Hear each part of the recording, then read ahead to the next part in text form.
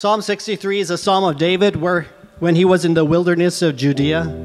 The Hebrew meaning of wilderness is an arid desert area where crops cannot grow. The wilderness served the purpose of a place away from public's view where God could purpose or prepare his servant for his plan and purpose. David, the anointed king, found himself twice in the wilderness setting as a fugitive, fleeing for his life.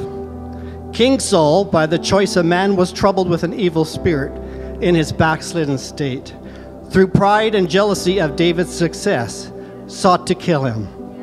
King Saul's demise, demise was his disobedience to God. The prophet Samuel declared, Because he rejected the word of the Lord, God rejected him from being king. It was a hard lesson that obedience is better than sacrifice. That wasn't bad enough, King David, by the choice of God, a man after his own heart, had his own son Absalom seek to overthrow him. After stealing the hearts of the people, Absalom stirred an uprising of rebellion. This forced a weeping David to flee Jerusalem into the wilderness for his life, representing and typing Christ as the rejected king.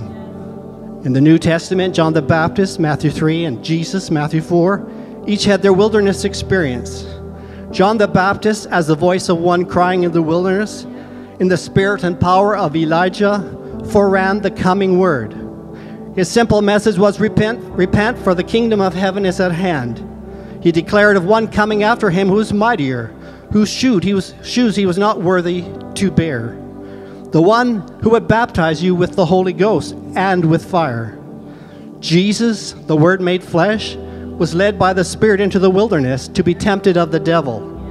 Jesus did not sin in temptation because he overcome the devil by the Word of God. This is the same method believers have today to overcome by the Word of God. Can you imagine King David hiding in caves, but longing, thirsting, seeking, and desiring to see God's power and glory, so as I've seen thee in the sanctuary? What a sad state to be in. Unable to go to church, unable to be in church. And yet, today, within the message, there are those who advocate staying home from church, press play, and disobey the prophet, who clearly states if Christ is in your heart, you can't wait for those church doors to open. To further add insult to injury, they determine they can have church in their homes, hence their home church. But don't, but doesn't that sound sweet? Home sweet church? No, friends, it does not. It's worse than sucking on a lemon all day long. And what does the word say? We're not to forsake the assembling of ourselves together, as the manner of some is, but exhorting one another, and so much more as you see the day approaching. Hebrews 10:25.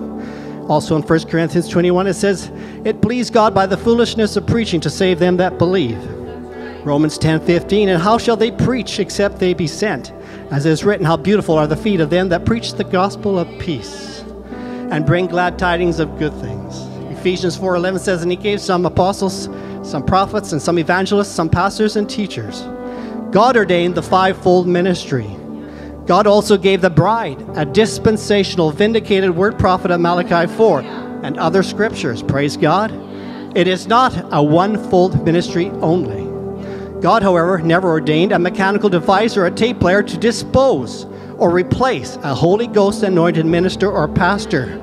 No, any more than God ordained a new cart to move the Ark of the Covenant. God's ordained method was to have the Levitical priesthood shoulder the ark. To disobey that brought death. What spirit, with their orders, with their orders from their headquarters, would close the church doors to ministers, at best allow silent prayer, and use the building as a museum of relics? All that without government intervention. For the bride, the headquarters is glory. Neither are we to elevate, worship, or idolize the prophet, the pastor, or any man of God, including your favorite superstar preachers you stream. Men of God are human. It is God who is infallible. Let us promote our lovely Lord Jesus Christ above any man. Let's not garnish the sepulchres of the righteous. Let's point to the empty tomb in Jerusalem. Remember the book of the month, the token? With the Holy Spirit, which is the author of the word, you have discernments of spirits. Anything contrary to the word of God, any evil spirit, wrong action, or false belief that would grieve God's Holy Spirit is not of God. This is Antichrist in spirit, anti anti word by the Holy Scriptures, and anti message by the light and revealed truth for our day.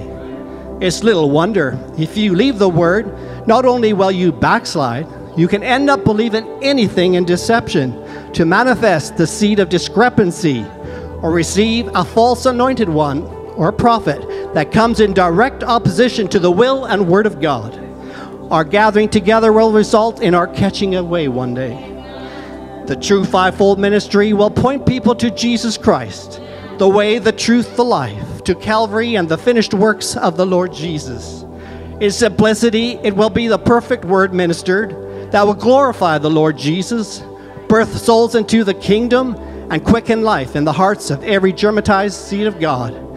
In conclusion, Hebrews 4:12 For the word of God is quick and powerful and sharper than any two-edged sword, piercing even to the dividing asunder of soul and spirit and of the joints and marrows, and it is a discerner of the thoughts and intents of the heart.